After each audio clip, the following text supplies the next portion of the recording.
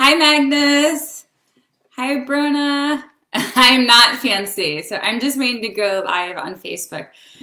So I legit totally forgot about this live until like 10 minutes ago, literally. I got, I wasn't checking my phone. So I normally get a 30 minute alert for my events. And then afterwards I get a 10 minute. So I missed the 30 minute and I only got the 10 minute. So luckily I had taken a shower and dried my hair and everything. But I, I literally like bolted and did my makeup really quick in 10 minutes.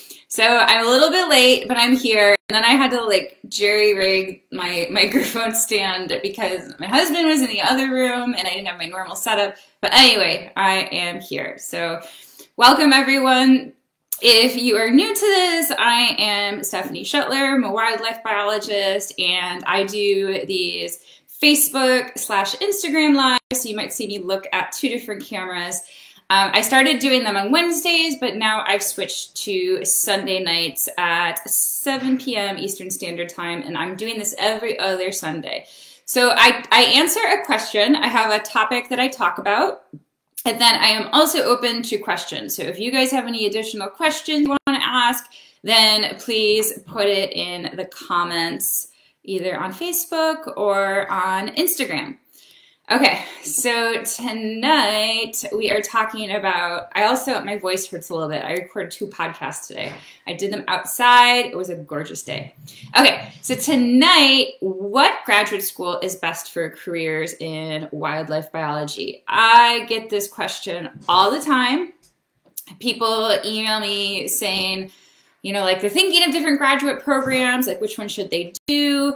I see this all the time in the, the, wildlife career Facebook groups, and there is so much misinformation about this that I, I should probably do a full, like a formal YouTube video on this and a formal podcast on this. But okay, so it again, it totally depends on what you want to do. Surprise, surprise. I say that every single week. But you've got to figure out what is your end goal for your job? What kind of job do you ultimately want? Because where which program is best for you depends on that end goal. So for graduate school, there are really three different types. Um, well, actually four. So there are, um, I'm going to start with the types that I know the most. There is um, a thesis master's, a research thesis master's. There is a, a dissertation PhD. There is a non-thesis master's, which is in person. And then there's online master's, which is also non-thesis. if you if you want to have a career in research at all at all at all you need to do a research program. So that means you either need to get a, a master's, um, do a master's thesis or do a PhD dissertation. I highly, highly recommend, even if you want to do a PhD, that you do a master's first because you'll be able to see if you if you like it. Um, I have I have a whole video on this. I'll just link to this, but there's many there's many advantages to doing your master's first and not many disadvantage and not many disadvantages and not many advantages for doing your PhD, like just jumping straight through. That's actually what I did, and I wish I didn't do it. Okay, so I'll link to that video. But um, so if you if you want to do anything where you're actually like doing science, then you need one of those degrees. Now, for those degrees, your school really doesn't matter that much it depends more on who you're working with and who, what other faculty are in the school. So like who's studying what, and then ultimately what you want to do. So if you want to work in herps, if you want to be a salamander biologist, you find somebody who is researching salamanders, asking similar questions that you want to ask, and you are going to approach them and ask them if they are taking on students. And I believe in my bonus module of my book, Getting a Job for Wildlife Biology or in Wildlife Biology, I believe that there is a template that you can use to approach Um, actually, then that's to approach. Never mind. Sorry, that's to approach for internships. But it's going to be or to, to, volunteer in a lab. But it's going to be a similar. It's going to be a similar um, request. But maybe you're gonna you, you're gonna add more detail because you want to include information about um, what you what you want out of this career and why you're interested in this professor. So totally depends on there's there's no one single school. It totally depends on what you want to do. If you want to study tigers, you got to find a professor that studies tigers. If you want to study butterflies, again, you got to find a professor who does that. And it doesn't have to be species specific. It can be um, question oriented too, and that's actually probably the better way to do things. But like if you're really interested in predator prey react uh, um, interactions or um, sexual selection, then technically you could work on a multitude of species. So figure out what you want to do first and then and then figure out whose research would set you up for that job because you are going to do a project under them that your and your research is going to be similar to theirs. So think about it that way if I, I honestly don't know that much about the non-thesis masters and the online masters, but I usually um, deter people away from them because um, I, I've just always worked in the research field and I'm familiar with research jobs. So if you, again, if you want any sort of like science-based job, so working for the government and um, the state government, um, any yeah, any sort of like research biologist position. Now within all these different sectors like nonprofit, government, um, there are there are like non-research positions as well too, but those tend to be like maybe more education or more marketing, more development. So in that case, getting a non-thesis master's might help you. I don't know. Uh, um, all I know is about the research degrees, but it the, the answer to this question is it really doesn't matter. There's no one single graduate school. It's about the professor that you work with.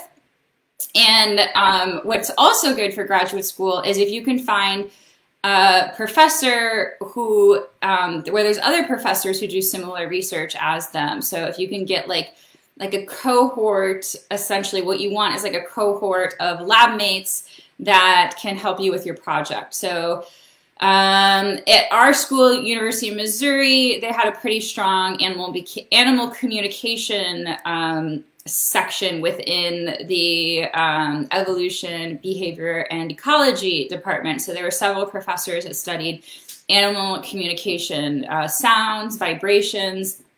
There's probably some uh, universities out there that have like multiple ornithologists or um, entomologists. So if that's something you want to do, it just provides you with more opportunities to add people to your committee, to help you out, and with more lab mates. But for the non-thesis stuff, I would really, again, research the jobs you want first to see if you even need a degree, uh, a non thesis degree for those. I'm not sure how much they help you, to tell you the truth.